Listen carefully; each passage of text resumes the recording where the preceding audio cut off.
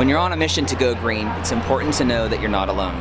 Having the support of a family of like minded people is key to success. And for me, many from that community are here tonight at the Southface Visionary Dinner.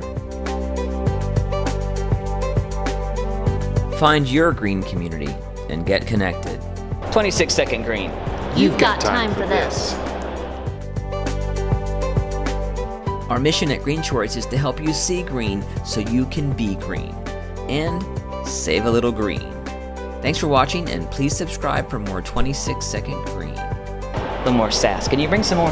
Can you get a little more sass? Can you? Yeah. Sassy, frass. Do we point? 26 second green. Oh, hang on, Chris. Sorry. All right. Were you picking your nose? Yeah. This is going in the bloopers, by the way. Yeah. Everything we do should.